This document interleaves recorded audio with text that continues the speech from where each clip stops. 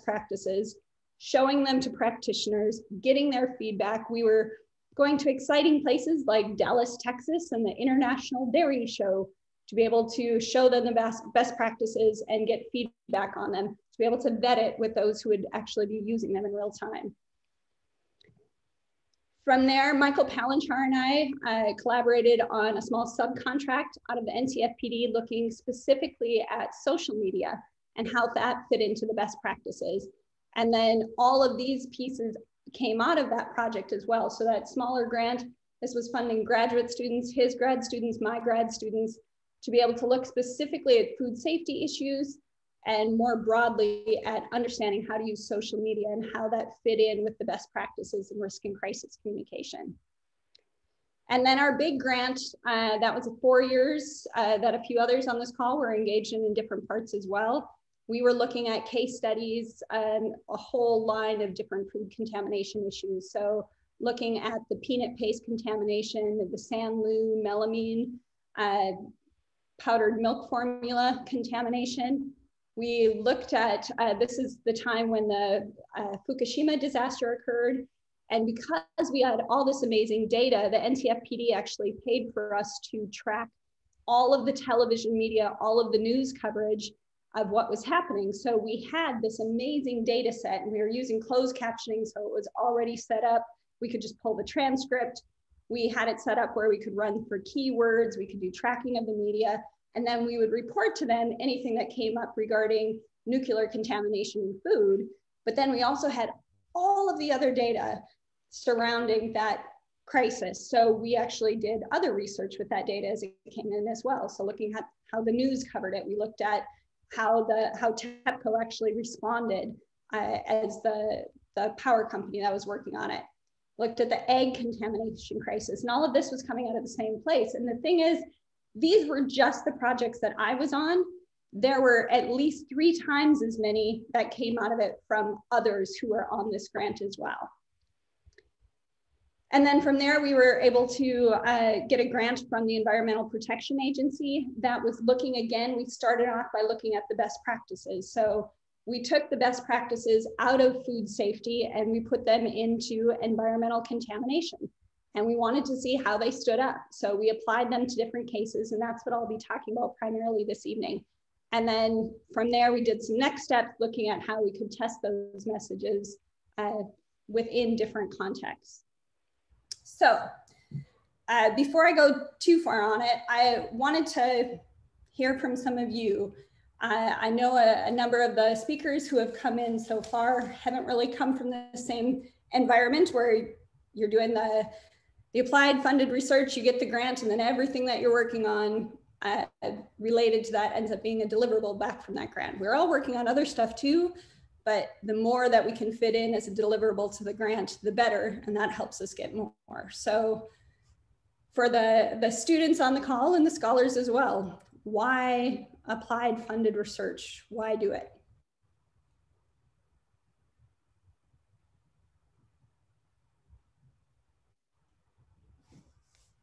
Uh, I can start. I, I think for doing applied research, is, uh, especially in public relations research, there seems, I think there is a uh, article in Public Relations Review a few years ago about um, how the practice and the research kind of disconnected in some way. And doing applied research so that our uh, knowledge about how, for example, crisis work and how crisis communication can mitigate some uh, negative effects uh, can directly connect it to the industry, how um, practitioners actually uh, do, do, their job. And doing funded research, I mean, it's just um, you have funding and it's easier to collect data to write paper. Uh, it's better for academics, I think. Helps when you can pay your graduate students to work with you on the research versus just ask them to join in. I'll, I'll chime in, Shari. I know that um, for me, I, I, I remember in graduate school learning the famous Kurt Lewin quote: "There's nothing so practical as a good theory." And, you know, in my world and the way I think, I really feel connected to the real world. And then trying to understand those patterns very much informs theory. So I don't feel like we created this false dichotomy, though I do totally see what you're saying when it's like you've got these this pressure for deliverables um, that can be that can uh, uh be a distraction in a way for doing the intellectual and academic work that needs to be done for promotion and tenure and this sort of thing. I've had the good fortune of not a lot, but some um, uh, National Science Foundation funding, and they see the connection between the two. So that's been really great, and it really does um, amplify the learning experience for my students tenfold compared to what I do when I don't have funding. Yeah, awesome. I would I would add the answer I hate to hear, which is that uh, especially here in Australia, we're actually being really, really, really pressured to do this by, and every school wants people to get funded, and every school wants people to have money. And I just met with my head of school this week, earlier this week, and and basically it was like, well, look, look, there's all these opportunities. Why don't you do? Why don't you take advantage of this? Why don't you take advantage of this? So there's a huge push by schools. So the ability to do it makes you more employable, but the ability to do it also makes you have more opportunities as a faculty member. Mm-hmm. Shari, I got one more that's really important, I think, right now. And that's that the more that we do and the more visible academia is in society and the tangible benefits that we provide to society are known, then the, there's more support for higher education. Uh, one of the things that we're seeing right now in Australia, and we saw it back in Tennessee and Oklahoma, when the public doesn't understand the value of higher education, because we don't make that leap, we don't show them why critical and cultural theories matter or why public relations or org-com matters, then we don't have the support of the, of the citizens. And we really do need that in order for funding as well as to be able to be listened to as experts. That's great, great points. so how do you get started? So Michael, as you're looking at this, they're putting on all the pressure. Where do you start? Well, usually what I would t- I tell people is, you know, work with somebody else who's done it before is the easiest thing. Find somebody who's experienced, get on the team, and sort of work up through the, you know, through the mentorship process. You know, I've been on that, and to, uh, really underscoring Michael's point, I learned so much about funding from an engineer at Rutgers who, you know, so don't dismiss these interdisciplinary projects where, you know, in a science like engineering, they are get funded or they don't get promoted versus we have a little bit less stress about that in communication. But you know he he ended up being a really great mentor for me in learning how to make the arguments and make the case. Yeah money gets big, money begets money, just like publications do, right? You find someone who's really good at, if you want to publish well, publish a lot, find someone who writes really well and gets a lot of publications and write with them, learn to write like them. And the same is true for getting grants. Work with someone who gets grants. And that first one that I showed where our project was only 60,000, but the whole grant was 1.25 million. So I can say that as a graduate student, I was on a $1.25 million grant. Now, I didn't see most of that money, but I can add that on. So when I'm applying for a grant, I can also show that, look, I've done this. I've continued to get grants, which means that I've been successful. And that's usually what it comes back to, too. Being able to show that you get funding from sources that you've gotten funding from before demonstrates that you're being successful in that process and you can get more. So we talked about some of the pros about why to do it. Why not? What are the cons to doing applied funded research? Maureen. well, uh, you get stuck doing a lot of paperwork and administration. So uh, especially if you don't have a, a full-time manager or a part-time manager, uh, if you don't have a supportive uh, institution that has a, a, grant team that can do budgets and all of that. And I've watched people at other universities really struggle to write a large grant. I remember early years at Rutgers, Susan Morgan, she did everything. And now universities, if they're smart, they hire a professional team of people who really will help and do the budget and come up with like I remember just trying to figure out how much does a graduate student cost, and then I'm like, what? They cost that much? wow, that's a lot of money. So I would say that there's a, um, an added administrative. There's also an added time because you have to have grant meetings. You need to keep and coordinate your team. There's reporting. So I, I do believe there's a lot of invisible work that falls on, especially if you're young and early in your career and you don't know all these things or your budget's quite small. So I think there's a lot of work in the beginning. Yeah. Working with others who know what they're doing helps. Mm-hmm. Uh, having to do just a small chunk of it. Uh, when I was on the grants after after I was graduated and off on my own at a university, my job was to oversee the graduate students. So uh, I took for hours. I made sure that they got those all submitted. I approved all their hours. I made sure that they were where they were supposed to be. So there's even that when I was just in a small piece of it, it still ends up being more time, but you can do so much with it too. So you mentioned Susan Morgan. One of her graduates is a faculty member at Kentucky, and I was just going through her dossier. They had 12 publications last year out of their little research team. So it's, um, you can produce a lot of work when you have the money to be able to support all of that research. Sure. All right, so I'm going to move into grounded theory and best practices. So grounded theory is used widely in communication, uh, particularly useful in developing generalized standards and principles, especially when an area is new. So figuring out what is the best way to do something when it hasn't been done for very long. And we can think that, oh, well, crisis communication is going on a long time really from an academic standpoint, probably the first classes were maybe late 90s, early 2000s, and so maybe 20 years. And you know, I'm looking at Alvin. 20 years is a lot in your life, but it is much less uh, in academia as a whole. It's a it's a burgeoning area still. Uh, grounded theory is typically inductive. You're trying to understand a phenomenon by describing those patterns that you see.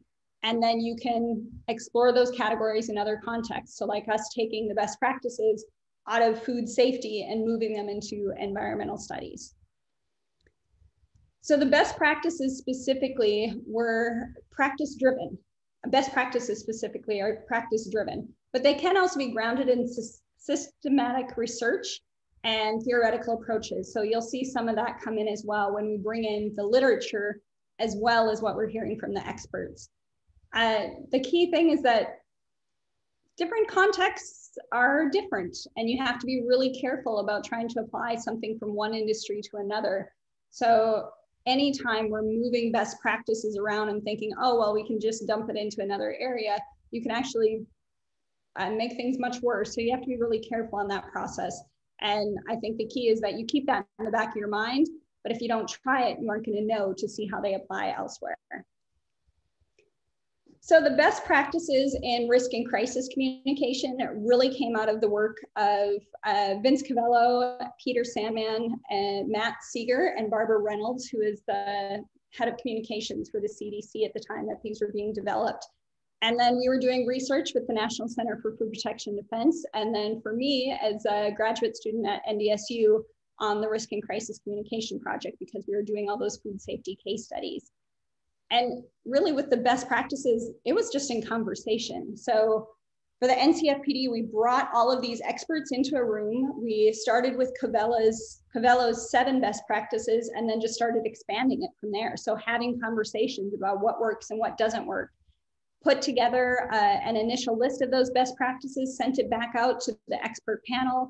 And then that initial publication that Seeger had was in, if you were interested in the best practices, get the whole issue of the Journal of Applied Communication Research uh, in 2006 where the best practices are featured because in addition to Seeger's article, Heath, Reynolds, Ropeik, Sandman, and Bennett all wrote uh, criticisms of it and uh, asked additional questions and added some things that I think Heath called his quibbles that he had with the best practices so that it was an ongoing conversation ultimately what came out in that article were these 10 best practices. So just to go through some of these and how they're how they're used is looking at planning those pre-event logistics. So this would have been putting together your crisis communication plan, getting everything together, coordinating networks. So knowing who you're going to need to rely on in a crisis who are your partners in that response process, and make sure that you have those networks set up ahead of time. Uh, accept uncertainty. Uh, this is a big part that really went back and forth, and it was really hard when we went to practitioners because they did not want to accept uncertainty. You shouldn't communicate unless you know what you're talking about, unless you know what's happening. Well, our argument comes back with think of an example of um, a semi is going down the road, it tips over, people stop, they can smell something, their eyes are burning, there's a noxious cloud in the air. Do you wait to find out what the chemical is? Or do you put out the announcement that, that avoid traffic in that area? Do you do a shelter in place in the homes in that area so they're not bringing that noxious gas in? Even though you don't know what it is yet, you still need to put out those warnings. So that was where the argument came for accepting uncertainty. With the proactive strategies, it was forming partnerships with others in that response process. So if you are working with the CDC, you should be partnering with Health and Human Services within your area or within your jurisdiction. Listening to public concern, if um, there are complaints coming in, if people have questions, that you're actually getting that information in.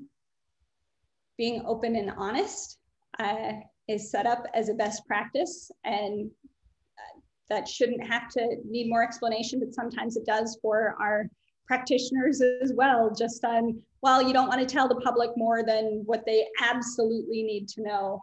Well, if they find out later that you withheld information, that makes you liable for any injury that was caused to them because of that information you withheld.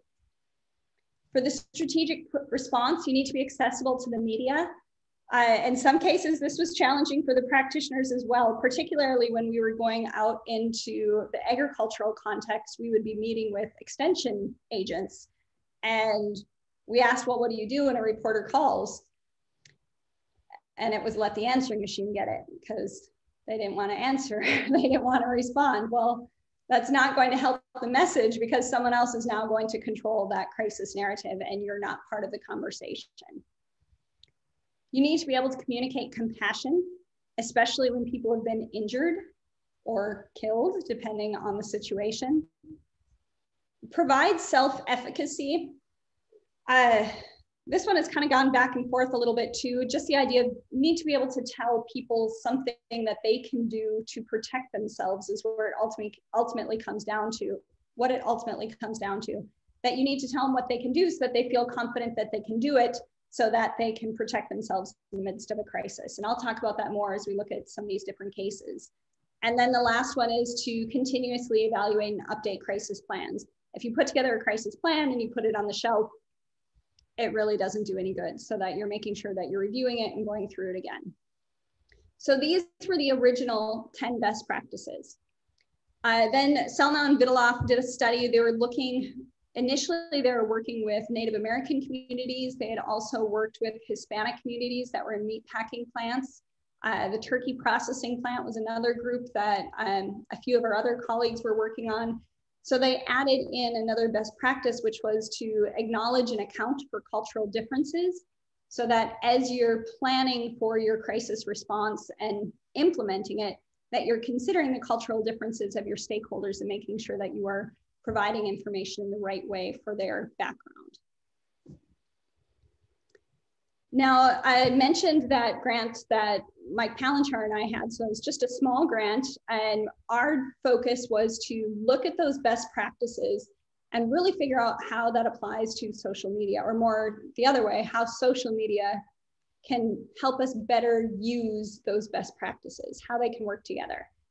So ultimately what we found, we would go through, and this was all literature. So we combed through the literature. We looked at popular press work. We worked, looked at the, um, the journal articles, pulled everything together to be able to better understand how it's being used and then how did it fit within the best practices. And what we came up with were a, a list of recommendations. So you need to determine social media engagement as part of crisis management policies and approaches. So there are some companies that if you're in crisis, you don't use social media at all. No one's supposed to be on social media because they could say something that could get them in trouble. Well, The alternate side of that is if you aren't communicating on social media, then you're missing a whole audience, right? Uh, another focus was incorporating social media tools for environmental scanning. So we talked about the importance of listening to your public. Well, listening on social media is a great way that you can listen to your public and find out what's going on and what they're saying about your brand or your organization or your institution.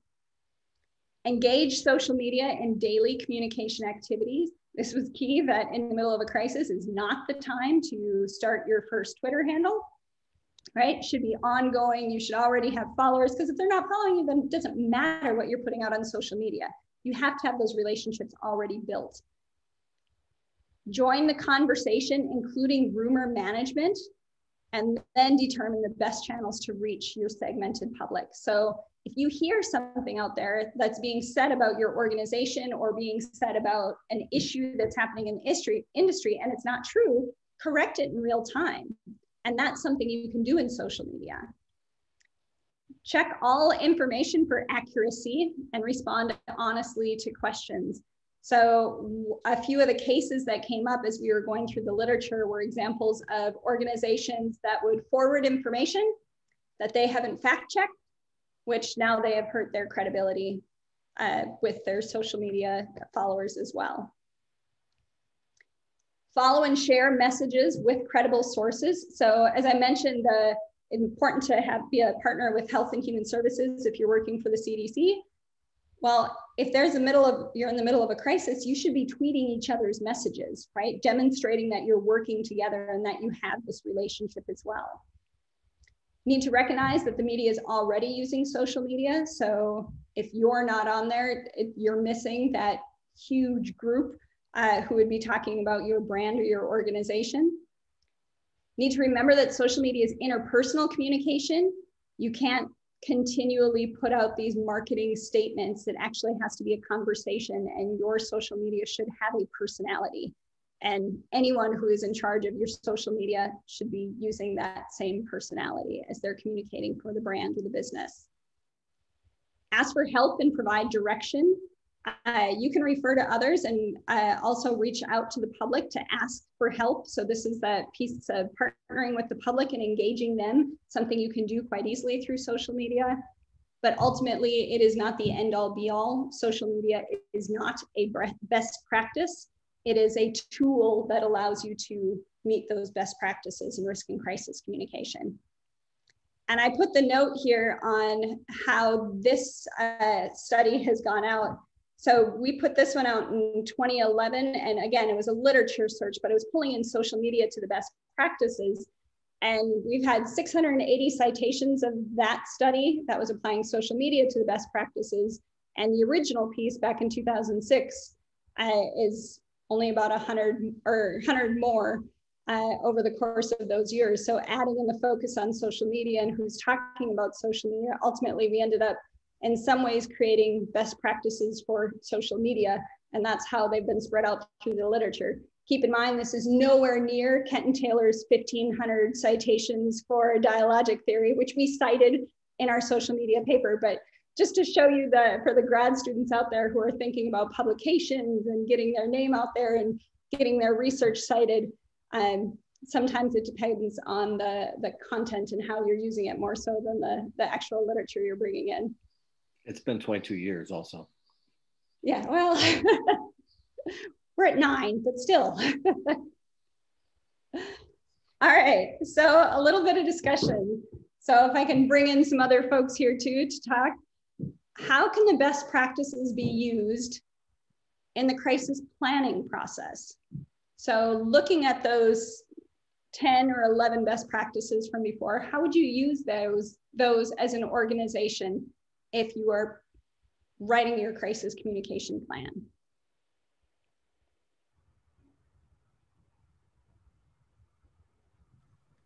Maybe as an evaluation tool, like um, we write our plan and then and double check with those guidelines and best practices to see if we have considered uh, all the uh, all aspects. Yeah, evaluate the plan as you're writing it I really like the part about um, kind of consult with people and, and listen to people and uh, it would be good to integrate them into the process of creating the crisis plan so they they engaged and they know also what to do and what to expect when things happen or you know things go wrong. I really like this part i think it was very good. Similarly right you can't do a crisis plan without in, in, working with a lot of people beyond the communication function in an organization so ensuring that people even if the the pr folks understand most of those practices they, they don't necessarily uh, you know they have to work with a lot of people who don't. And so mm-hmm. selling things like uh, accepting uncertainty if you have a guideline that says this is what we need to be doing that helps a lot to get buy-in from the rest of the organization to create an effective plan. Yeah you can give them a one pager uh, saying these are our best practices from the communication standpoint this needs to be included in our plan as well It's a very good idea to use the practices from other organizations. Uh, how how other organizations handled the the the similar crisis. Yeah, especially if you're if you're new to the organization too, for you to be able to rely on someone else and bring all of that literature in. Yeah, or, or just to evaluate some sources of information which which which might happen in other country as a as a period as a as a as a time as a age. And you and know again, from stress, stress, stress, analysis also. Mm-hmm. That's the we the, the crisis arised from from from certain uh, problems certain issues which uh, actually uh, our our or other organization live live within. So so if if we know how to handle uh, threats, uh, so we we we know how to to handle crisis actually.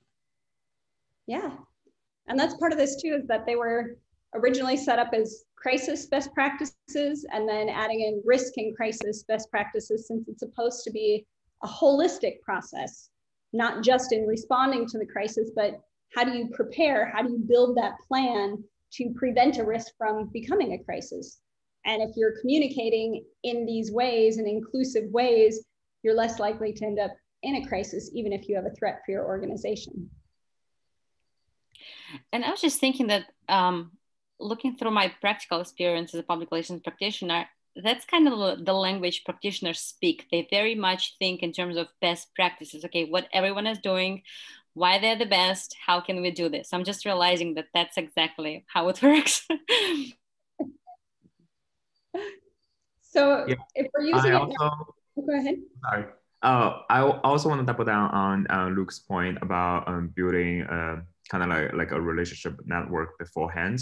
And uh, he, he mentioned how you should also uh, build a good relationship network within you know, the employee community how um, PR department and other departments should communicate beforehand, and also like at different levels, the network, for example, interorganizational network, compared to my practical work back in China before I came to the study here, like back there, we will focus a lot on um, like government, uh, corporate uh, relationship and building. But here, like you are uh, have a lot of NGO that if you are in the food industry, then there are a lot of NGO you have to um, deal with first. So if crisis and some risk happen and you have some resources to go to, and those relationship will not come right away. You have to build it. So it's a part of the crisis planning as a from a network perspective. You have to build uh, macro level organizational networks, but also build networks within the company uh, with different departments. Yeah, just like the in the middle of the crisis isn't the first time that you should be working in social media. It's not the first time you should be talking to those NGOs who you need as partners. You know what I just realized? I, am just curious if there's research um, out there like this that um, one of the insights you had that um, work together with others who also share credible information about the crisis. And i'm just curious how many of the like airlines and you know food companies you know all those uh, companies that are very much um, uh, subject to crisis, how, ma- how many of them follow on social media, CDC, you know, FEMA, FEMA, mm-hmm. FEMA, that's how I say it. I mean, all those companies that also spread credible information. I was just, if there's anything like this, I think it would be interesting to see. Yeah, I think uh, watch those those Twitter feeds a little bit when you when a hurricane hits uh, in an area. See how many of those businesses start retweeting uh, tweets from NOAA or from FEMA. You'll see there they have that partnership piece on the social media side. Those who are doing it. so how can best practices be used in the evaluation process? So the crisis has occurred and what many in the organization would prefer to do is, okay, shoo, we got through it. Let's never talk about it again. But you can't, or they shouldn't. So, how can you use those best practices in evaluating after a crisis has occurred? Well, you know, you know, evaluation is is is uh, always a a problem in, in, in public relations because you know it, it is, it is uh, pretty difficult to to uh, to show to like to measure the impact of, of communication efforts especially in crisis communication when everything is uh, is uh, is under attack and uh, and and ev ev everyone is rolling uh, rocking and, and so on so so that's that's a huge problem so but from other side, again, if we have a good good example, good practice, which we, which we can show to to management, because I, as well, you know, I'm I'm not very you like normal professor. I'm just I'm I'm young professor. I'm just just started because I came from practical point, uh -huh. practical field. So so usually usually people rely on on someone else uh, experience in in our culture we always like to to to study uh, someone else errors mistakes yes so that's that's a good good proverb no nobody follows this uh, rule but but everyone likes to, to to to talk about it so so if we can uh, show that as organization had this, those bench, benchmarks, those indicators of effectiveness, efficiency. So, so it, it, it might help uh, us in, in this uh, project, for example. You know, that's a, it's a really good point from the standpoint of if you're a communi- if you're the head of communication and you wanted them to follow those best practices and build them into the plan, and there was some hesitation on that, if a similar organization in your field has gone through a crisis and you can go through and apply those best practices and look at what they did well and what they didn't do well, it's so much easier to evaluate someone else's mistakes than your own. But that would give you an entrance point to then get those best practices into your plan as well. So again, if you're looking at it the cyclical standpoint, if you've built them into your plan, it's much easier to be able to evaluate your plan based on whether or not you met those best practices because you already knew that those were going to be the evaluation measures you were going to have to look at. Yeah, and and that they succeeded. That's, that's right. again very important. And also, I mean, setting aside budget money for that and stuff, making that part of the plan so that after the fact, you're not fighting to say, we need to evaluate this. It's like, we're done now, let's look at it. And we've got, you know, an expectation that we're doing that. So what are the dangers or limitations of relying on best practices? One that I can, oh, no, so, yeah.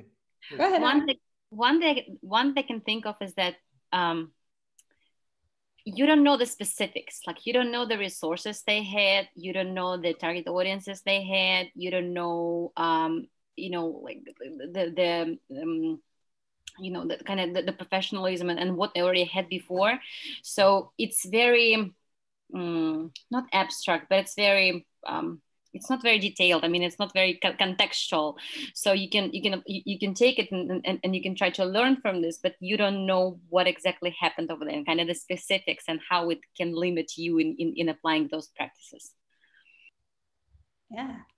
And plus, plus people are usually uh, when they describe their cases of like writing about it or making speeches, they're usually using only those aspects of, of campaign which were, were positive.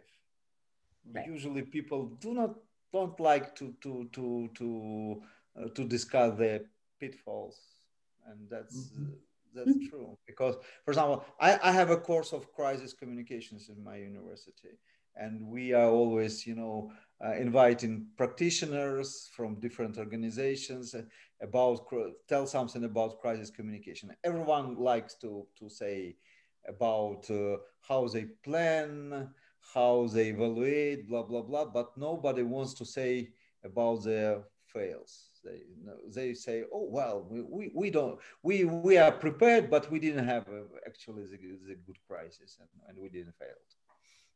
I think we do the opposite in as academics. We only look at the failures because that's the only thing we know about. If they succeeded, we don't know that they succeeded.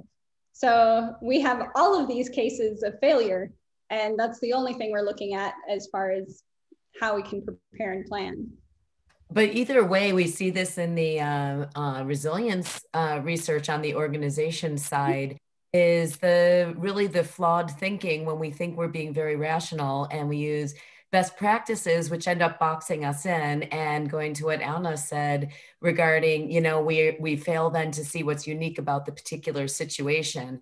And so you know in in my work in resilience we start thinking about those sorts of needs for yes you need to have the plan in place absolutely. Yes you need to have best practices in mind but yes there needs to be flexibility and and you know i've been writing a bit about the importance of autonomy that you trust your employees who have their boots on the ground to actually recognize when it's time to eh, you know to follow policy or p- past practices versus being improvisational and transformative about what had been done in the past because most crises have unique qualities that past practices don't quite necessarily match up with. And so it's it's fun to see the connection between the external performance of the internal decision making that comes you know behind the scenes from the public relations practices. Absolutely. And you have to think too of just you can plan you can have this great plan in place something can go wrong and you can handle it perfectly to your plan but then it was a slow news day and there's nothing else really going on. And suddenly your story takes up and that's that's where you are. So every crisis is situational and it's making sure that just as you would look at a crisis communication plan you don't follow the plan step by step by step. It is a guide which is why exercising the plan is so incredibly important so that you can learn how to improvise and adjust as you go through in the crisis so the next area that I wanted to talk about today, um, Michael and Maureen and I had had a conversation a while back just on um, case study research and how that's done and how things fit in. So I thought I would bring that in because that is my primary uh, method that I use. So I want to start there. Is case study research real, res real research? And who are the naysayers and why is it cut down? Is, is there anyone on here who has not heard some kind of negative comment about case study research before? A little bit, right? You hear the, the comments, it's soft research, it's not real research. Uh, you're not doing survey, you can't generalize from what you're finding. So it's not real research. Go ahead, Michael. I live with Maureen Taylor, so I hear this all the time. Maureen, you want to be a naysayer on it? Is case study research real, real research? One case study probably is not enough, but a series of case studies I think provides deeper and broader insights. But yes, of course, a case study is a, a valuable piece of understanding a larger picture. How's that? Can I be the, I'll, that's me being the other side. How's that? you can be both, yes. Actually, I mean, yeah, I actually agree. I actually also think that definitely case studies has value. I mean, you see, like it, there are different ways to conduct a case study. So it's not the case study per se, which is bad, but just there are some studies who used case studies and those are not very good but actually you can use a case study with multiple methods and kind of you know um, describe describing describing the context and this, the situation and the complexity so it can be very valuable so it's not there are bad ones, but I think most of them are still good. also the boundary conditions we draw around it. Maureen and I started our careers based on some might call it a single case study of um, uh, transformation, and yet we consider it a very deep field research project. So it, you know, it depends on the boundary conditions you set too on the case, and what what are you trying to, what are you asking, and what answers are you trying to glean from that case? I think are really important. They're, that's a really great question though about um, whether it's legit. Yeah, and there's a lot of illegitimate case study research out there. I mean, sloppy research, right? The teaching case studies where you're using this, oh, let's talk about this case study, but really all you're talking about is an example and you haven't done the thorough research behind it. Uh, actually, the, the last page conference I was at, I was, this was right after uh, Nike had come out with the Colin Kaepernick ad. And the guy got up on stage and he did, he was talking about a bunch of other things, but he said, so let's look at this case study. And he went off on this whole thing about how awful and wrong Nike was to use Kaepernick because there was social media was blowing up because people were lighting their shoes on fire. And there's a good chunk of us who do crisis communication in the crowd. And we're like, no, no, no, like he had he had to take steps back because we're all like, this is not going to turn out bad. You are making this case study judgment way too early. Give it time. So sometimes we use them as, we call them case studies, but they're really examples. And you can't generalize statistically from a case study. Obviously, it is bound by the case. You can generalize the theoretical findings to see how they would apply elsewhere. And I think that's the key thing to look at with case studies. So when I'm looking at case study research, it is not dependent on a single method. It is not a case study of only looking at media coverage and nothing else. Uh, sometimes it's qualitative, it's interviews, it's focus groups, textual analysis. Sometimes it's quantitative. I do surveys as part of case studies sometimes. Sometimes you're doing ethnography where you're actually in the organization or in the situation. Uh, I look to, I think it was Sellnow and Ulmer in Littlefield who had done the, the study of the floods in Fargo, North Dakota. They were literally lifting the sandbags onto the dike. So they were in that experience as well. Can be any mixture of the methods. Can be a single case, but it can also be multiple cases. And for me, the kicker is that people uh, put little digs here and there on case study research, but there's a ton of research out there that is never labeled as case study research, and it absolutely is just that they're looking at a bounded case. They just aren't calling it a case study. If you're doing focus groups of people who have been evacuated following a specific hurricane, you're doing a case study on how people were evacuated of that hurricane, but we don't talk about it in the same way. So we're looking at that bounded context. So when you use a case study is when you're trying to understand the how and why. How did this happen? Why did this happen? When you're looking at theoretical propositions that is that are guiding your data collection and your analysis. Perhaps in a crisis when you have very little control over the events, it's not like we can go through and set up control certain variables in the midst of a crisis.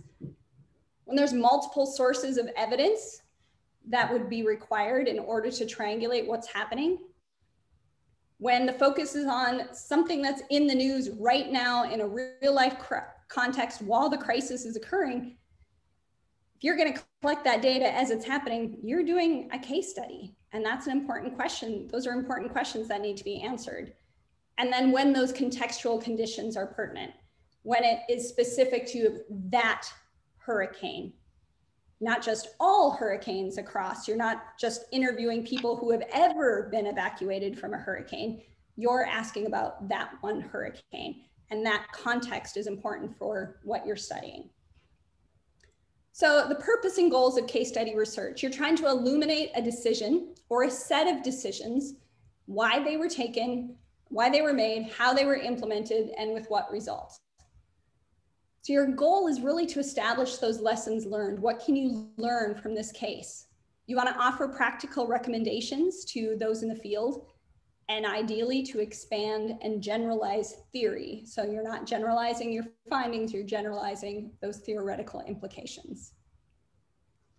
Quality case studies still have construct validity, internal validity, external validity, and reliability. Anyone should be able to take your case, look at your case evidence, and be able to understand how you link that evidence together to be able to make those connections and provide those findings you need to be able to establish those causal relationships between the evidence. And you need to have that domain set for generalization. How does it fit? What context are you looking at? And where else can it move in those different areas? When you're doing data collection, from my standpoint, is that you need multiple sources of evidence. And those multiple sources should converge on the same findings. You need a database of evidence that is separate from your final report. That means every article, every report that you pull together, every interview that you pull together has to be kept separate. And then you draw the evidence together to make, be able to make those connections. Create that chain of evidence for your case. Oh, I got bombed. You taking care of it, Michael? uh, I'm better at now. It's the second person. I'm going to stop admitting. Uh, I'm not. Does anybody know Michael Blake?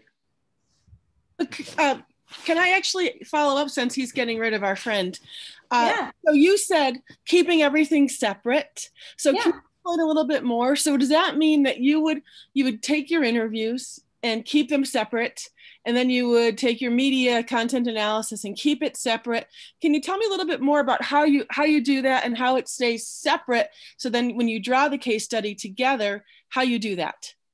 Yeah. So what I do, I'm working on a case study right now. So I have all of the media, all the media coverage is in one area. I have all of my interview transcripts are in another area. And then uh, I'm building in the reports that are coming out as well as the news releases that are coming out from the organization. So I have them all pulled together and the citations are there and I don't know what all I'm going to use yet. So when I'm describing what was included in a case study, I include what, what I actually use to describe the case. So when I actually cited something in my description of the case, that's when I bring it in as my description of the data that was included.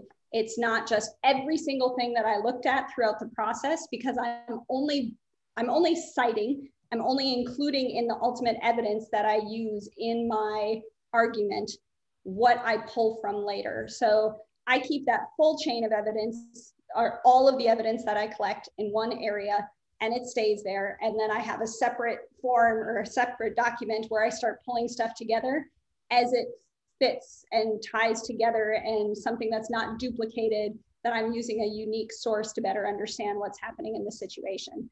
So that's how I do it. Um, I build all of the, the evidence first. And then if I find something in the process so I'm reading an article and it links to another article that I didn't have in the evidence before. I'll go and get that article, add it to the full group, read through it, and then decide what does or doesn't fit. I think the big thing is that you're not going through and writing a summary without pulling that evidence in. Does that make sense? Does that? Yes, thank you. All right, so I'm gonna go through um, one, well, one study, multiple cases, just to go through how we ended up using the best practices. And I may skim over some things just so we can get to more discussion pieces, but I wanted to be able to at least go through a couple examples of cases that we've examined. So the multi-case analysis, we are looking at five distinct environmental crises. And this was the, the grant that was funded by the EPA. And it was a two part study. So the first part, uh, the area that I led was the, the case analysis. And then once we were done with the case analysis, we took those best practices, created vignettes that were then tested out in focus groups so that we could apply them and see how they actually stood up in conversations after uh, outside the case. Uh, we tried to cluster the information as it was coming in. We wanted to conceptualize all of the information we brought in for the cases within those underlying within the underlying construct of the best practices. So it wasn't like we went into the case inductively. looking to find something, we took the best practices and we applied them deductively to the cases. We were looking for evidence of adherence or diversion from the best practices. So what did they do looking at those set of decisions? What did they do? How did they respond? What was the result? Did that align with the best practice or not? So that was the first part of it. Evidence in each case was then analyzed to identify any challenges that didn't fit in the best practices. So now we went back after we had categorized everything. So we had the evidence there, what fit, and then we had all of this stuff that didn't fit, but were still problems in their communication in the crisis. And then we looked for uh, comparisons across those five cases to see if there are things that were similar or things that would make sense in those other cases as well. And those challenges were compared, consolidated, categorized across, and then we added additional guidelines to the best practices. And I'll go through those at, at the end. So we are going to start with uh, the first case is the Canadian Pacific Railway derailment.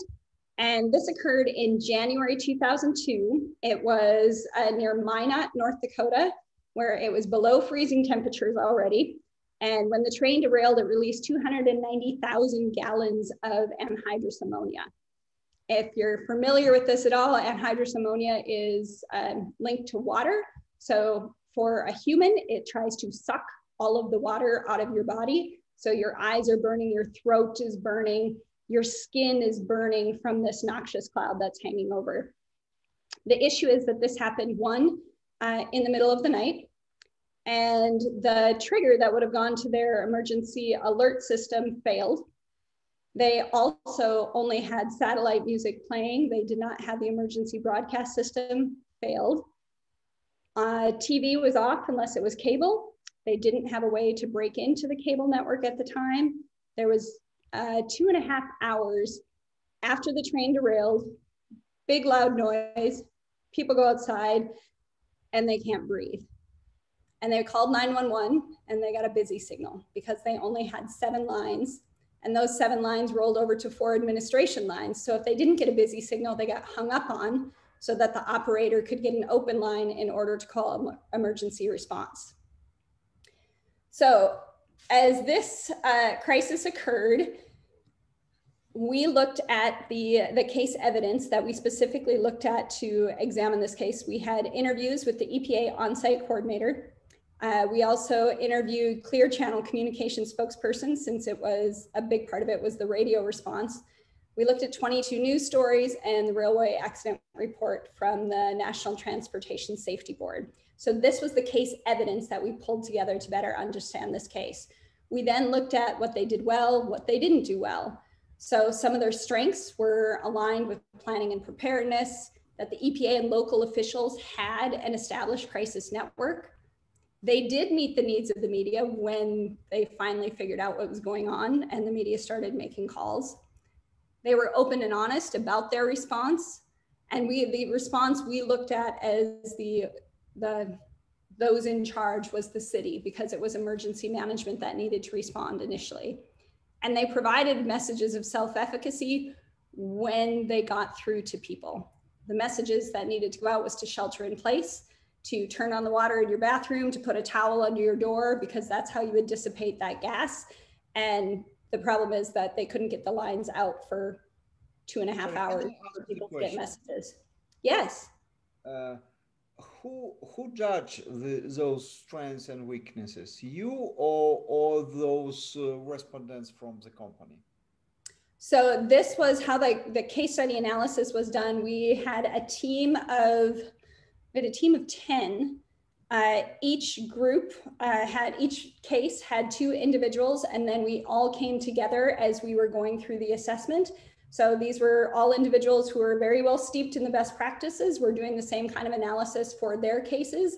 And then we would have discussions over what they did well, what they didn't do well, according to the evidence that we had. So as each of us would come in with, all right, this is what we found, what they did well, what they didn't do well, then the rest of the group would be able to come in, ask questions, double check what was happening until we agreed that these were the right, right responses. So it was part of that grant team that was reviewing everything. Failures in the process was a failure to acknowledge uncertainty about what was actually happening. The other challenge was that this was January of 2002. If you've ever been to Minot, North Dakota, the only thing in Minot, North Dakota is an Air Force base. And it's also the location of where our nuclear warheads were located. So 2002, after 9-11, 2001, those who heard the crash and the, the noxious air assumed that we were being attacked. And being able to respond and deal with that uncertainty was um, the police department didn't respond to it very well. The mayor didn't respond to it very well nor did the emergency managers uh, there was a lack of compassionate communication one individual died because he was trying to drive and the, the vehicle um, same thing tried to suck the moisture out with all this anhydrous ammonia uh, he ended up crashing and dying in his car of asphyxia. Asphyxi- I can't say that right now. He choked to death uh, from the anhydrous ammonia. And they, they lauded themselves as a city because only one person died. And meanwhile, there were dozens of people who continue to this day to have respiratory issues because they were out in that cloud. Uh, they also didn't go through to evaluate and update their plan and didn't account for cultural differences in their instructions after. So their big plan for how to make sure this doesn't happen again was they provided shelter in place guidelines in the phone book. And that was their checkbox for, for how they responded well to updating their plan.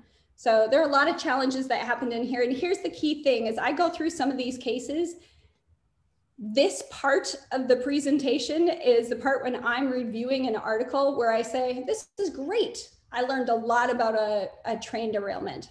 I learned nothing about communication. And that's my, my biggest criticism of case studies when they focus so much on the case that they never get to the point of actually assessing the communication and helping us learn more about communication. So I'll breeze through some of these a little bit more. Uh, but I just wanted to kind of give you an idea how we went through this process.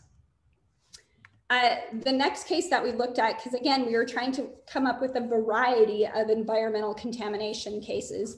We looked at the post-Katrina travel trailers.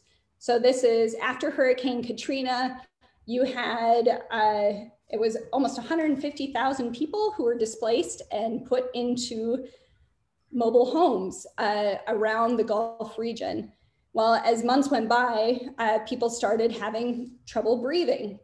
And the Sierra Club actually had gone out and tested some of the trailers because people kept complaining about having trouble breathing in their trailers. And it was no, no, everything's fine. Well, then they did tests and they found that there were elevated formaldehyde levels in these trailers.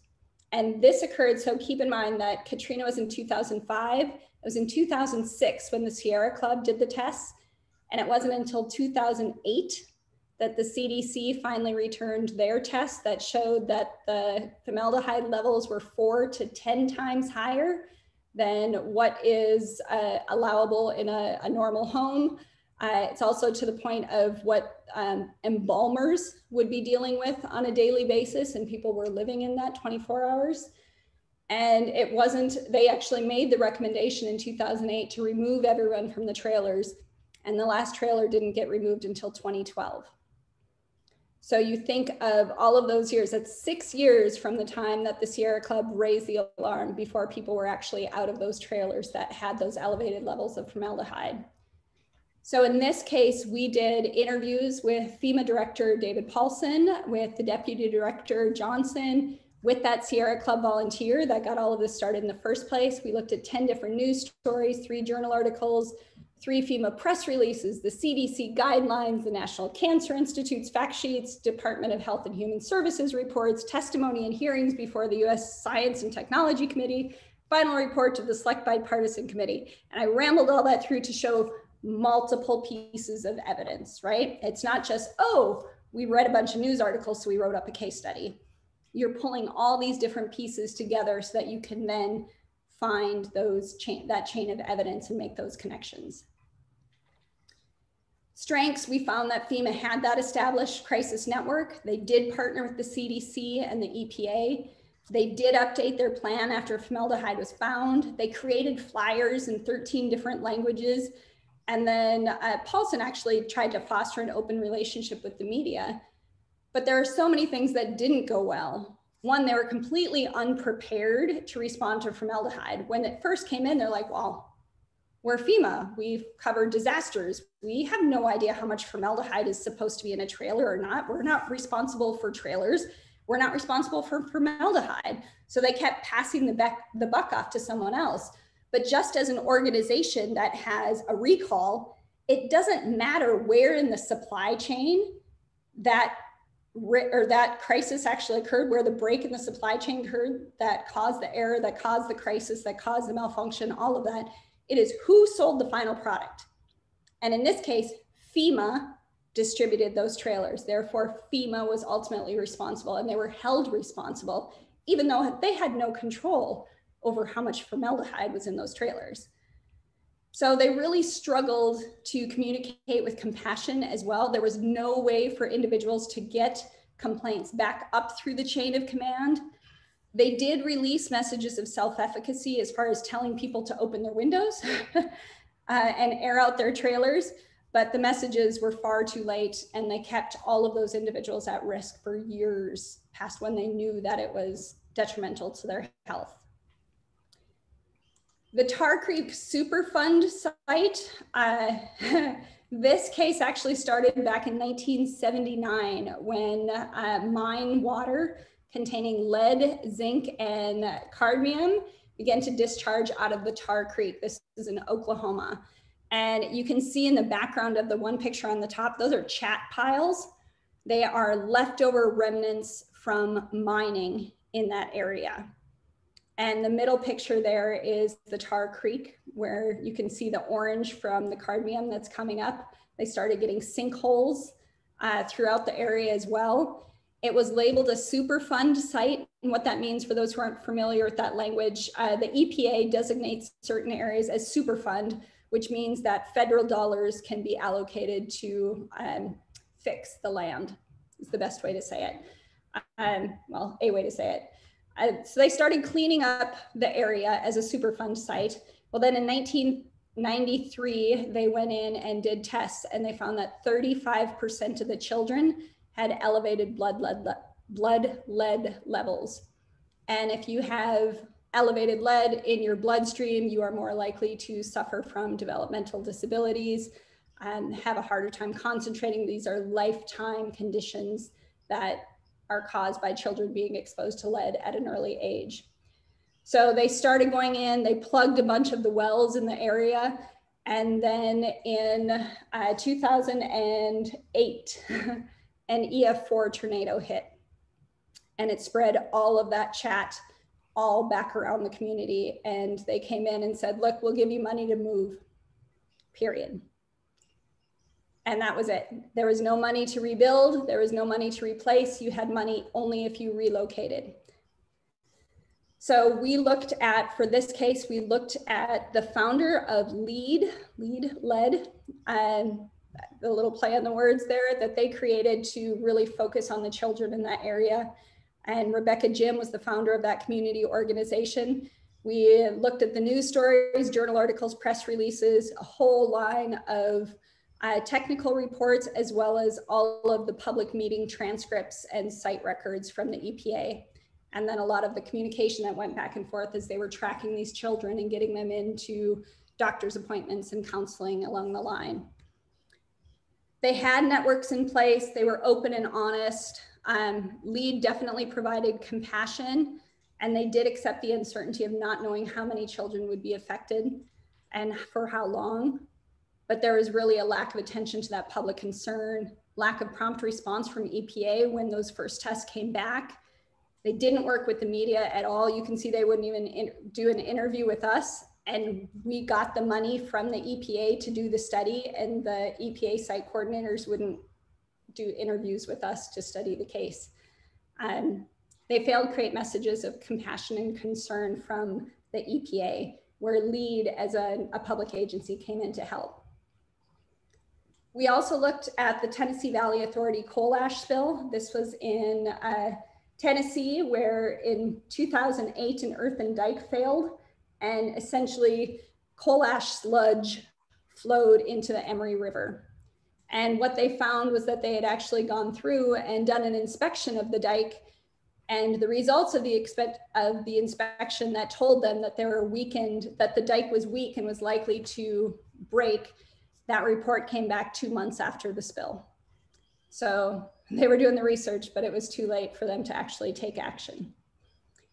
And we looked at, we had an interview with the general manager of the Tennessee Valley Authority, looked at 11 news stories, press releases, again, multiple uh, pieces of evidence that we were looking at. They did listen to public concerns. This one was really interesting. So the sludge came down and as the trucks were going back and forth to be able to remove that sludge, people who lived in that area couldn't get to their mailbox because it was on the opposite side of the road. So TVA came in and moved all their mailboxes to the other side of the street so that they'd be able to get their mail without having to cross the road. So just little things that they did because they had a way to get those public concerns to them. They're accessible to the media, communicating concerns. So did a lot of things that were really great. But the plan that they had, their crisis plan was based on a nuclear power company. They didn't have a plan that was specific for the coal plant that they were operating. Um, they had some other issues with uncertainty, being honest about the amount of amount of sludge that came out. They speculated a lot about how much they thought spilled, and then they were wrong. So then they ended up looking bad in that in that process as well. And then the last case that I'm sure everyone is familiar with, the, the BP oil spill, uh, starting off with the explosion of Deepwater Horizon, resulted in 11 deaths, 17 injuries, and 184 million barrels of oil in the Gulf of Mexico. Uh, we had 23 news stories, eight press releases from BP, and all of their testimony. BP would not do interviews with us either. And interesting enough, this study was funded by the EPA, and most of the time, you can see this phase two of the study on the EPA's website, where you can find research these days on the EPA's website. But uh, this case study, this case study process never made it on there. And they said the only reason, the only way that they would put it on there is if we took out the BP case and we didn't want to take out the BP case. So it's not on the website, which is fine. We just published it as a book chapter and wrote two other articles on it instead. But that was one of the, the challenges of this case. Uh, BP had a few strengths. They had established crisis partners, developed ways for the public to share concerns. If you remember, even famously, Kevin Costner provided a plan for how to collect the oil out in the Gulf of Mexico. There was the junk shot and the top hat and all those ideas that came in from the public. And they were really vigilant in revamping their plan following criticism. But the reason why there was criticism of their plan is because the plan that they had in the first place was for an oil spill off the coast of Alaska. And that was the plan that they filed with the mineral, mining and minerals uh, in order to drill in the Gulf of Mexico. And we put a stamp on it and we let them drill. Sure. Is this the case where, where the guy says that he wants his uh, his life back? Yep, that's why uh, uh, officials could have shown more compassion towards stakeholders. Yeah. Yes, when uh, Tony Hayward was uh, was talked to about the challenges, and he said he wants his life back. When of course, eleven people died, and hundreds and hundreds were out of work and had lost their livelihood for years uh, in the fishing area. Uh, they also could have been more cognizant of those cultural differences, understanding, I mean, just understanding what the fishing industry is like in the Gulf of Mexico. They made these assumptions that there are all these big corporate companies who would have, you know, they could always get a loan and move forward. Well, many, many of the fisheries in that area are family owned. It is a guy with a boat and that is the company and that is the livelihood for him and his family. So there's a lack of understanding of those cultural differences. They were virtually hostile to media sources. They piped in uh, video recordings showing the leaking uh, oil instead of actual live footage even though they claimed it was live footage. So there are a whole lot of things that were weaknesses in this case. But again when we finish with these five cases now you know a lot about these cases and we still Jerry, haven't talked Sorry. Yeah. The case where they threw Halliburton under the bus as well, and they kind of blamed their their uh, partner instead of doing anything themselves. They did. Uh, they blamed Halliburton and Transocean, and the final report does note that Halliburton's cementing was off. Uh, however, it, BP, same thing as we just talked about with the, the other case, was BP's oil well. You can blame the people along the line in the supply chain, your contractors, all you want. You are ultimately responsible, and the government ultimately held them responsible. So they ended up spending, uh, initially they thought it would cost them almost $20 billion. And instead it ended up costing them uh, about six, almost 70, am I doing that? $60 billion um, to be able to address those damages, the environmental fines and damages following the crisis. So after we finished with all of this, we really wanted to focus in on those lessons learned. So what happened, what can we learn from each of these cases, and then how could those be translated into the best practices? So for the Canadian Pacific Railway, safety and well-being of the affected should be a primary concern. I mean, that, that should, it shouldn't have to be a best practice. But as you can see from many of these cases, it wasn't a primary concern. The primary concern was finding out what spilled what was the contamination, how big was the contamination, and who's to blame.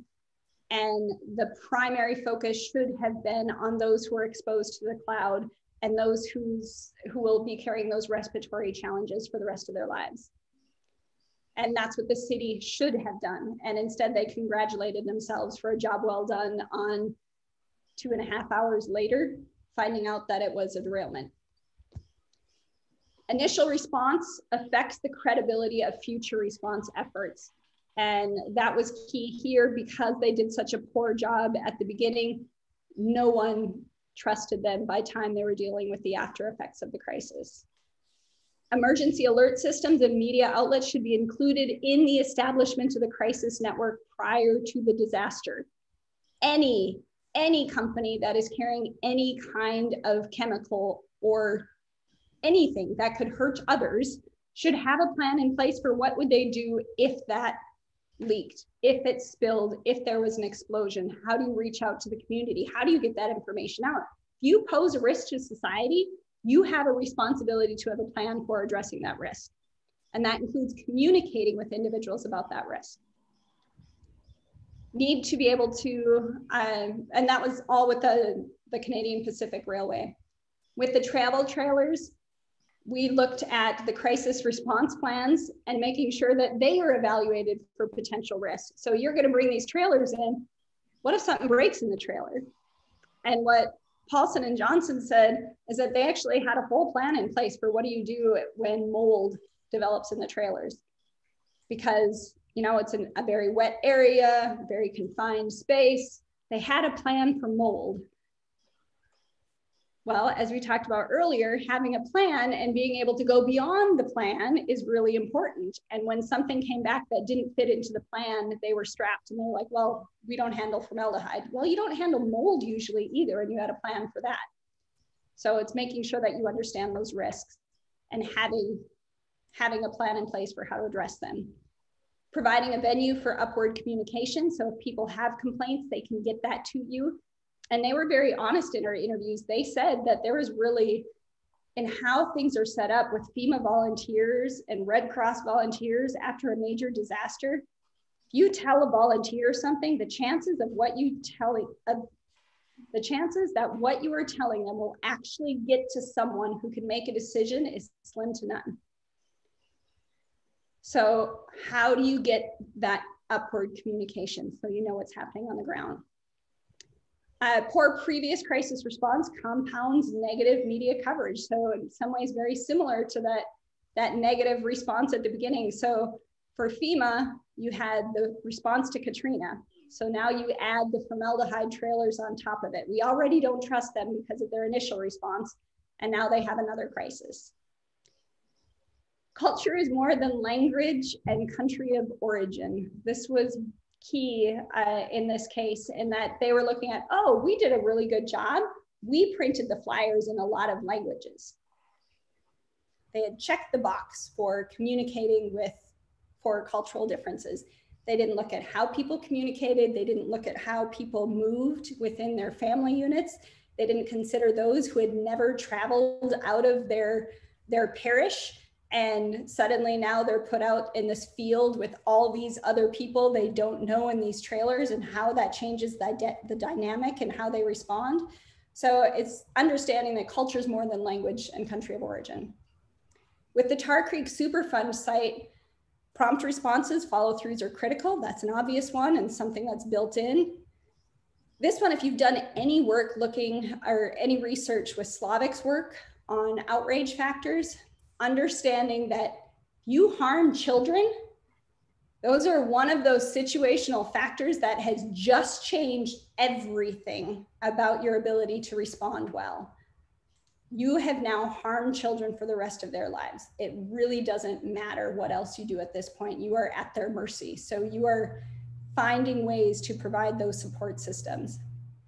Messages need to focus on how people can reduce their own harm so providing, going back to that best practice of self-efficacy, but how do they reduce their own harm and make sure those messages are going out? So again, some of these fit with the best practices, some don't, but these were the lessons from each of the cases. TVA coal ash spill, crisis plans can't be copied, they must be tailored.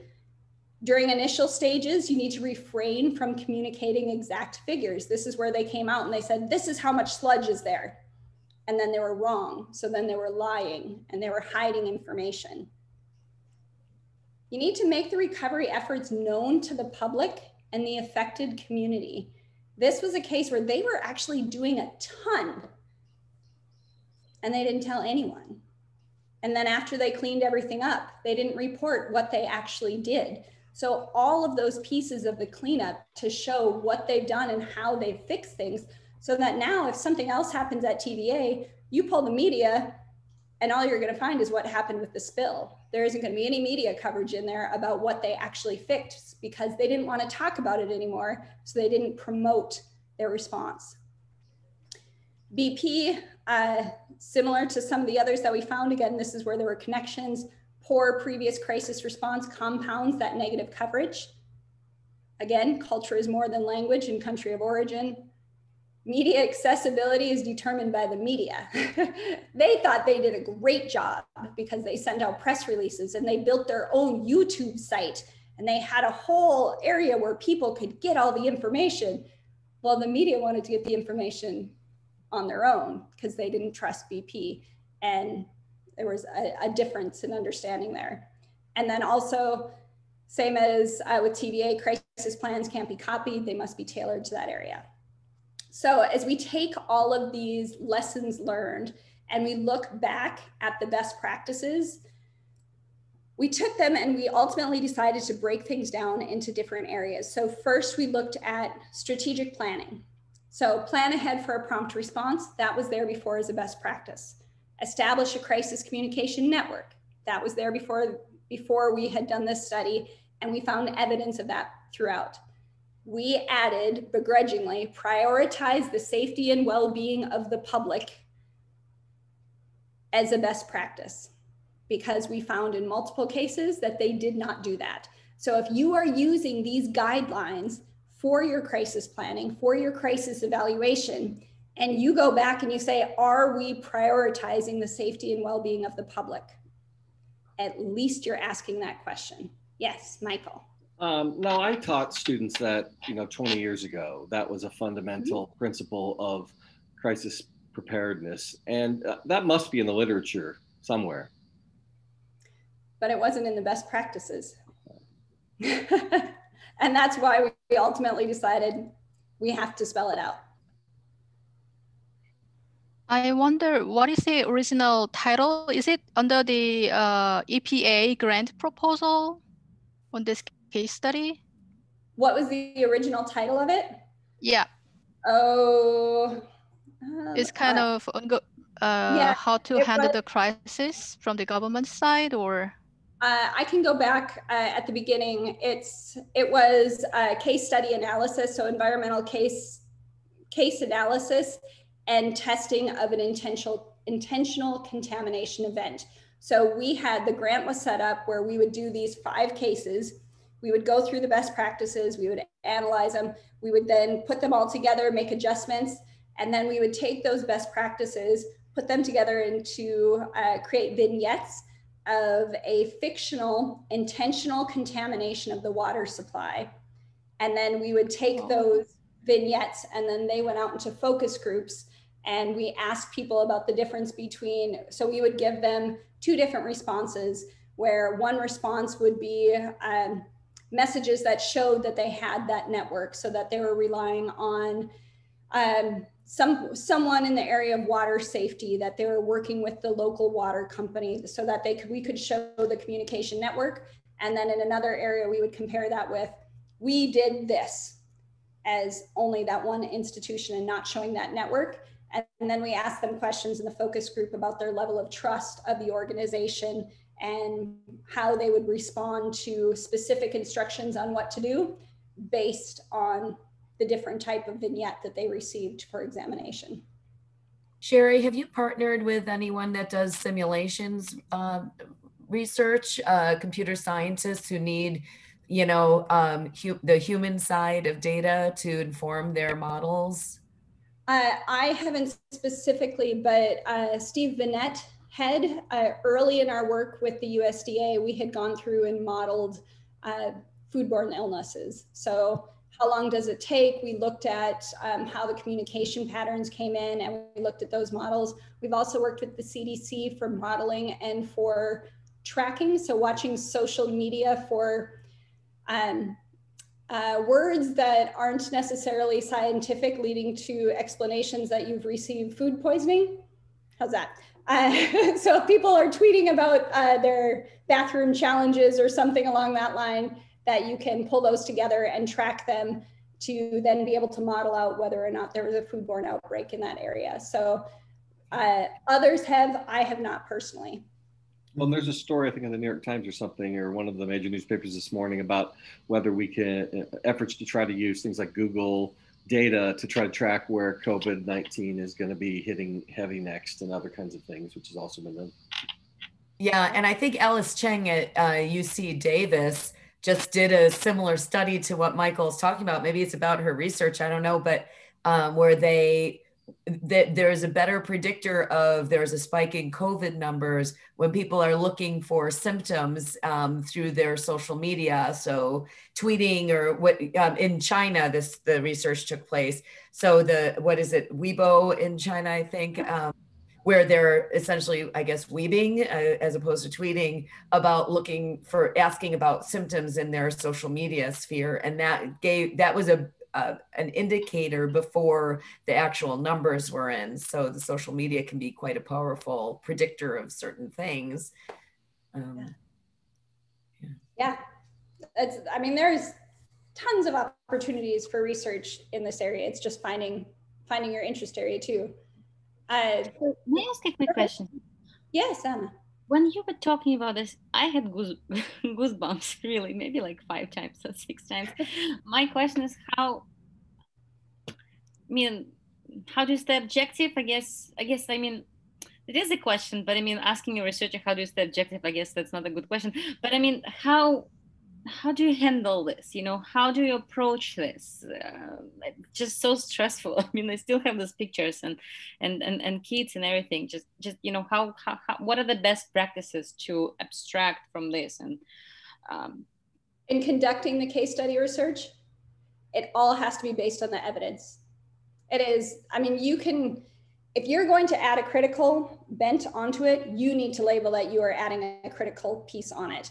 Um, the the case study I'm working on right now, I I honestly don't know what the answer should be, and I've done that in others too because I base it on the evidence, and I I had very strong opinions about that they were doing it wrong until I conducted the case study because the evidence told me that it's there isn't a right answer that they are they are wrestling with something big and there are multiple perspectives and multiple narratives. And what i'm doing in that case is bringing out those competing narratives.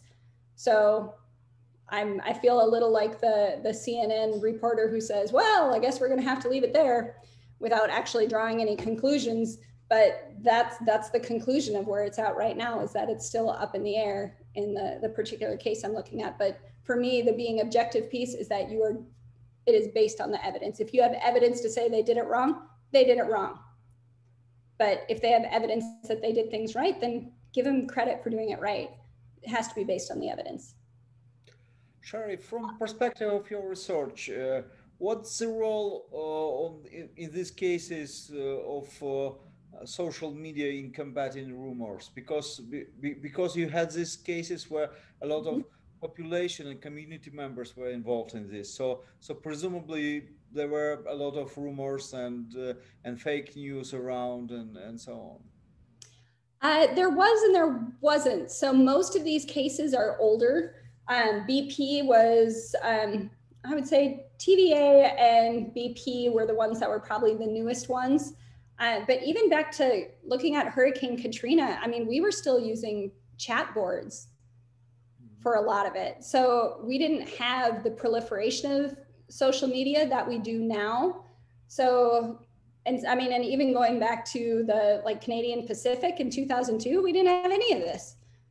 Mm-hmm. So it's changed so much too. And what we're, we're looking at the evidence that is around at that time. So now when we're doing uh, different case studies, we're bringing in social media because that's part of the case evidence. And in these cases, um, we didn't bring it in. It just wasn't as impactful. And if we weren't going to bring it in for one, we tended not to go that route with the others.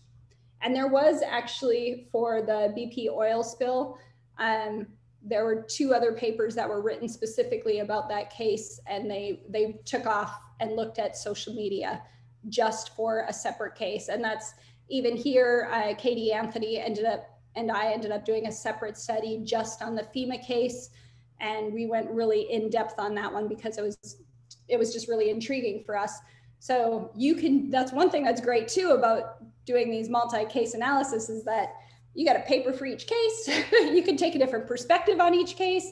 You can put them all together in that multi-case analysis because there's so much there when you have all of that data and once you've collected all of that evidence. So going through uh, Maureen, when I was talking earlier about keeping all of that evidence separate, What's great about doing that, if you aren't just pulling it in automatically into an argument to build it for a certain paper and you keep the evidence separate, then when you change or decide to do something else with uh, different research questions, looking at it from a different theoretical perspective, you can then take that lens to that evidence and look at it with fresh eyes because you're keeping the evidence separate.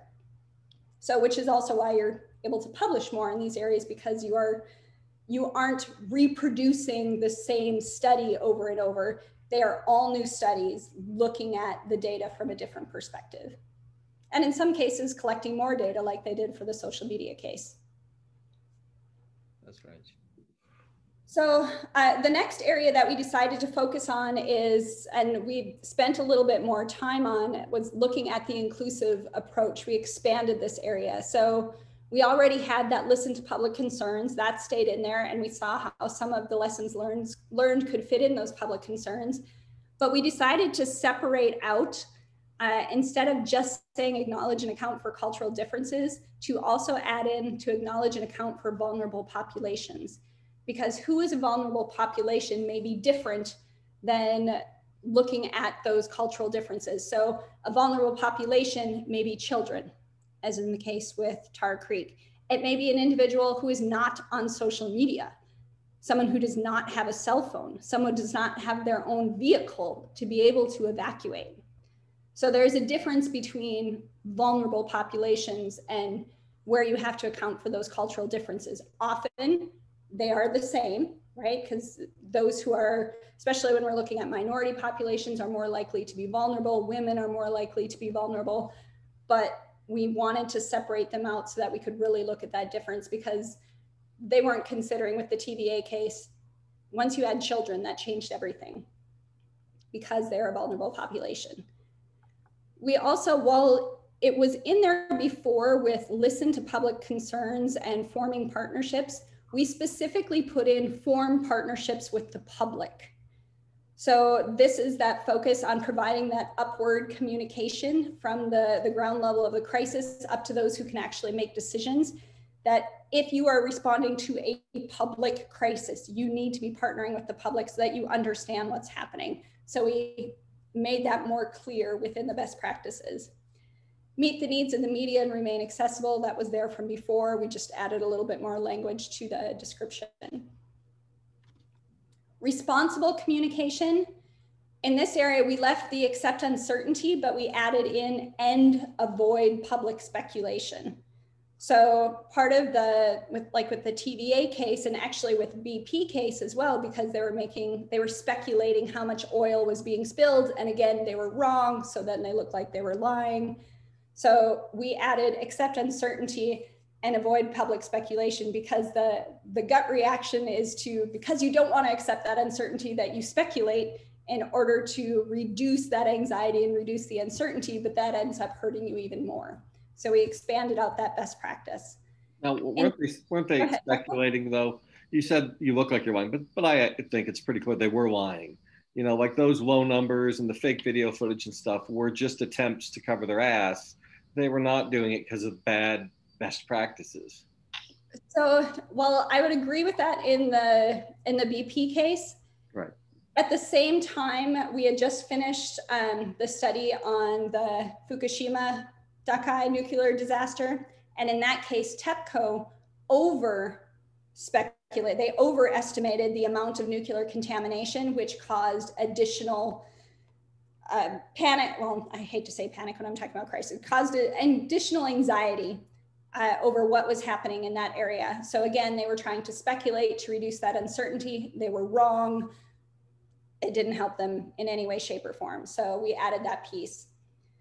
For the area of, um, before it said provide for self-efficacy, what does that mean for a practitioner was probably the biggest thing for us. So we put it in, especially after looking at all of the work that the Sellnows had done, looking at instruction in crisis response, and even some of the work that tied in with the NCFPD, where we were providing instructional messages on how to protect yourself from uh, food contamination.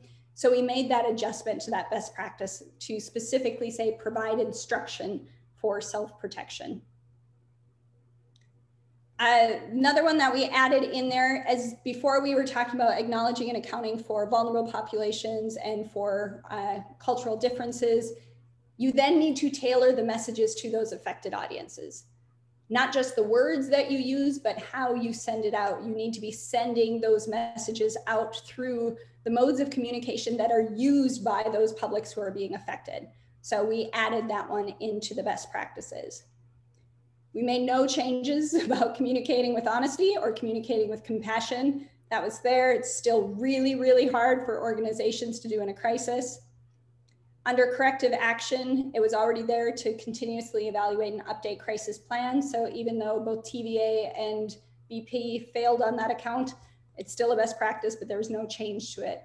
But we did add in to complete and communicate recovery efforts. So that post-crisis, you can go back and tell them what you've done, how you fixed it. Don't pat yourself on the back, but demonstrate what you've done to be able to address those concerns and to prevent a similar crisis from occurring in the future. And we actually, as we brought this one out, it was interesting because we had done the, oh, the peanut butter paste contamination crisis uh, by that point. And uh, we had done a comparison of the three big peanut butter brands and Peter Pan that according to um, situational crisis communication, they had had a past crisis. They should have actually done worse in that crisis. But because they had just had a salmonella case, their entire website was built out about all of their safety procedures. They invited the media to come in and tour their plant. They had all of this media coverage about everything that they did to make sure that it couldn't happen again. And then, and it really wasn't a direct threat for them anyway, but they came out much better than uh, Jif did fine because it was just really big. but they came out better than Skippy because they had so much um, of that recovery effort documented. So even as we were going through these cases, you know, we were doing a case analysis just on these environmental cases, but we had spent so many years doing all these food safety cases where when we came to this one, we're like, oh yeah, that fit over here too. So it's kind of that resonating where we were having those discussions with everyone who's working on the case analysis that we could bring in those other examples too. Regarding, uh, I have a one question, Shari, before Absolutely. moving to the next slide. Yes, some of the cases is very live whenever the accident, uh, the current and then your interview is going on simultaneously. So it's kind of very real story like sketch, right, out there. I just wonder the you highly emphasize on evidence and collections of all the live stories. So how much is value the case studies when you collect in the on the on the site and then use it as a kind of as a next paper whatever. Yeah so what i what i typically do is gather all the um, the text evidence first. So i was mentioning the case study i'm working on right now gathered all of the the news coverage all of the press conferences all of the press releases all of that first. Did an initial summary of the case and then i set up my interviews and that's what we did in these cases too, so that we were really using those interviews to check ourselves, to check our analysis of the case. Mm-hmm. Double sure check. Mm-hmm. Right, to make sure that the assumptions that we were making based on the evidence we had at that time rang true for those who were in the crisis. And to me, that's the importance of those interviews. It wasn't necessarily that we were collecting data in order to you know figure out how things were going. We had already collected the big chunk of data and prepared that initial case summary and then we conducted the interviews for that for that check back with what actually happened during the crisis So is, it, is there any concern regarding some sort of bias? People so much observed on current issues and event probably too much uh, exaggerate their negative comment or sentiment during your interview? Or how can I, we uh, make us kind of neutralize the parts? Yeah, so I bring it in as it is their perspective. So when I'm doing when I'm doing case studies, I I can only think of a couple times where the, the individual was anonymous. Usually if I if I have to go through IRB approval, so sometimes it depends on the university, because if you're doing a case study in some in some universities, they see that the same as you would be doing a media and coverage of it. So they don't make you go through IRB, others do. And even when I go through the IRB piece, I I put through for them to not uh, be anonymous because I am asking their opinions and for information based on the position they held at the time of the crisis. So I wouldn't, I wasn't interviewing Paulison as a human, I was interviewing the former director of FEMA. So everything he is contributing is from his perspective there. So his title's in there, his name is in there. So if it comes back, because I would go through and I talked about a media controversy, for example, that occurred um, where they, uh, FEMA was going to do a press conference. They invited the media on and then they muted all of the media, provided their statement, and didn't open it up for questions. And Paulison was furious and he fired the person who set up the conference call. But mm-hmm. then he could provide that perspective because he was there that's fine. He was convinced that he provided a great relationship with the media, but because the rest of his team didn't, it didn't matter. So the media saw them as untrustworthy. So it allows for that contradiction. It's okay for me looking at that because that's just another piece of evidence. It can be contradictory evidence, but it's still helping us understand what was happening at that time. Right. Thank you. Yeah. So ultimately, uh, what we finished at the end of this study was putting together these essential guidelines. So now we can take these guidelines, the updated guidelines, and be able to take them back out, do crisis communication training. So the whole road show that we did the first time around with the best practices, it is to go back out and test these other best practices. Do people see them? Does it fit? Are there things that you can do from a crisis planning standpoint that would engage all of these different guidelines? And to me, it's so funny. Some of these are sometimes when I talk about theories, especially grounded theories, I call them duh theories. Like, well, duh, you should be open and honest, right? But we have to put them in there because otherwise people don't do the assessment. They don't do part of that planning process of making sure that they are checking those boxes. And yes, it is checking boxes, but the alternative is they don't. So, I mean, it's a, it, it provides a nice guidance for us when we're going out and doing consulting, we can bring these guidelines in and say, all right, this is what's important when you are responding to a risk or a crisis. We can go through and do exercises with them. So we've done that with uh, local emergency management where they went through an exercise. Um, I just moved from Kentucky and we have the chemical weapons stockpile there. So we go through, you could have an exercise. That would be a case where then you could do an assessment of your response in that exercise as to whether or not you followed those best practices so that you're always hitting back in those different areas so that when the crisis does occur you're not getting out the guidebook you're not checking the box you are reacting because you know what needs to be done and that's really the focus that you are following those best practices that hopefully by that time are so ingrained that you know that it's something you need to follow you don't have to go and check the box So that is uh, the overview of that first part of the study. And I'll we'll come back to the questions here in a second, but just to go back, what happened after this?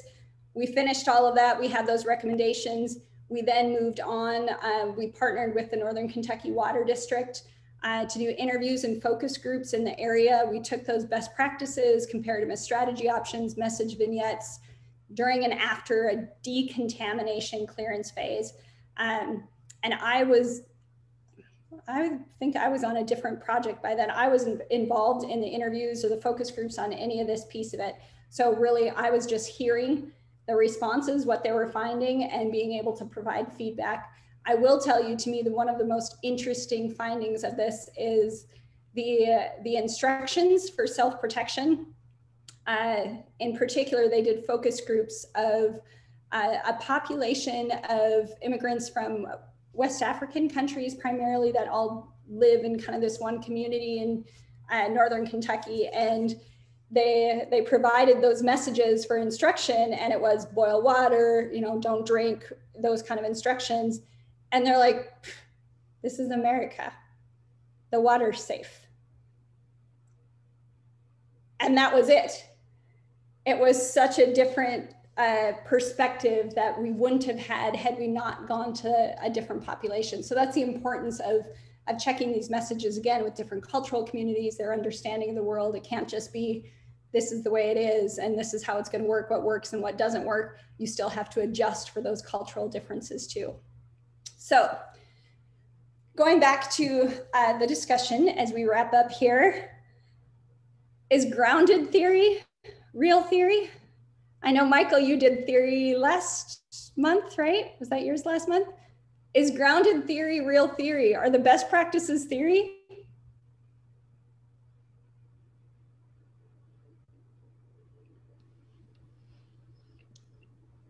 You're asking me or anybody?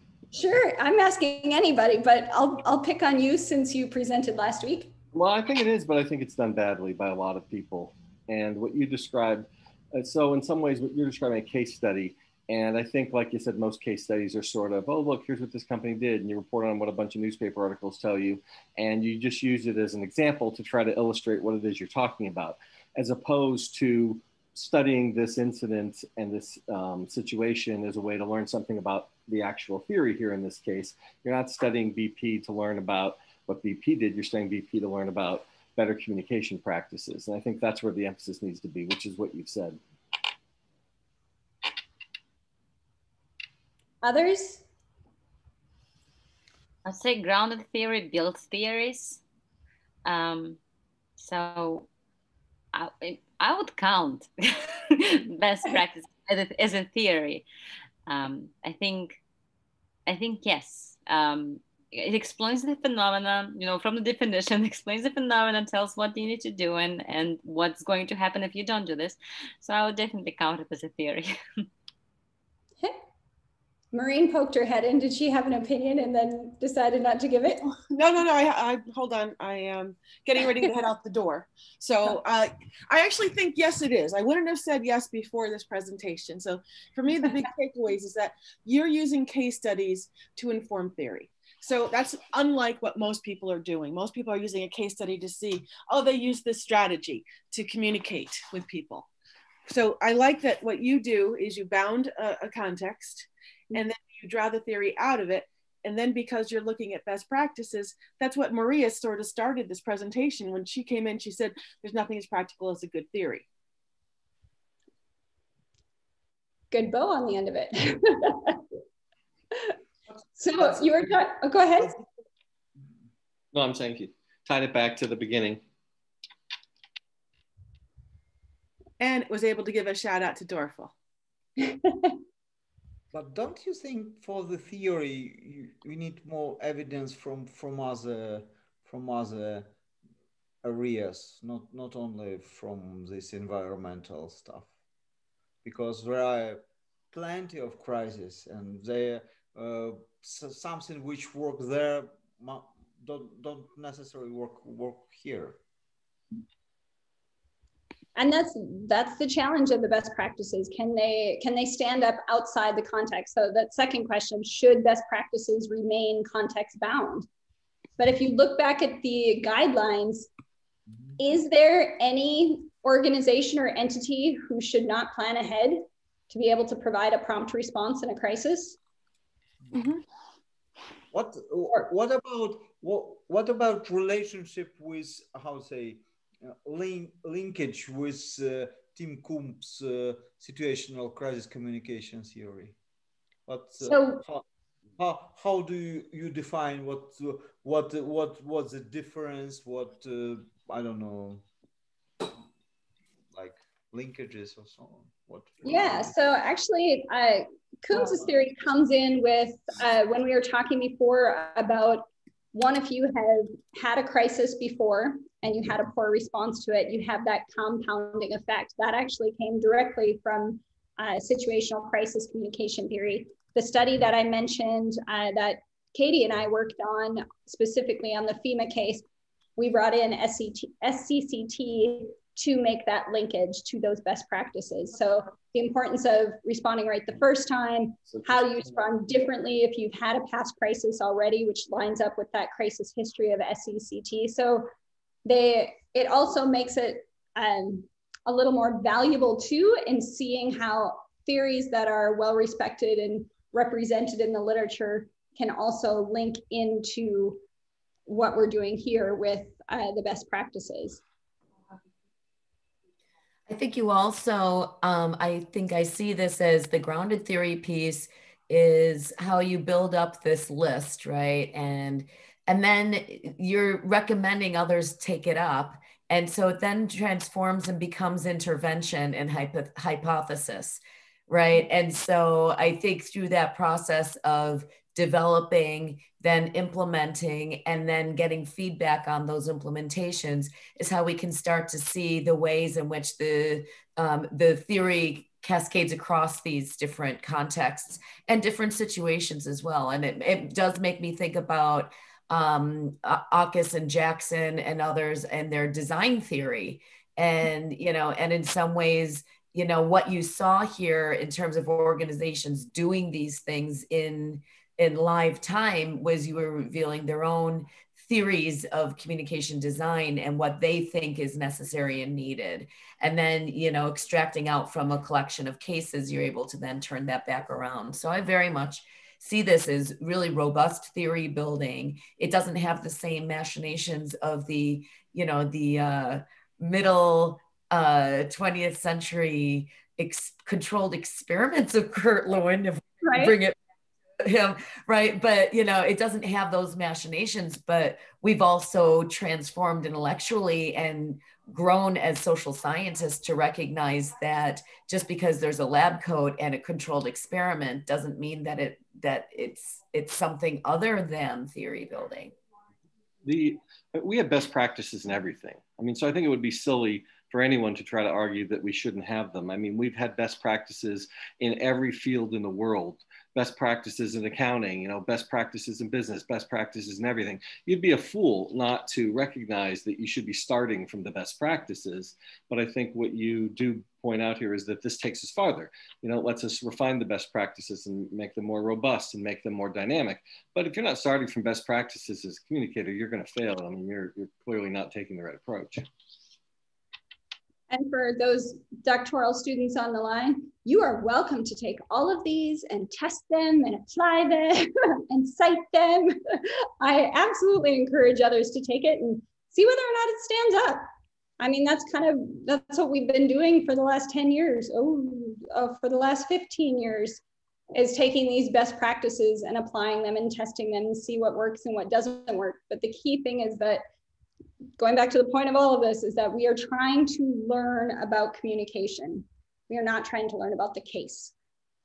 The case comes in very insightful, very helpful, very instructional, but the purpose is to better understand communication. So if you write a case study and I end up reviewing it, which I end up reviewing a lot of case studies because it's my research area, I, I will often send comments back saying, I learned a lot about this case. I learned nothing new about communication. And if we're not learning anything new about communication, then why are you sending it to a journal?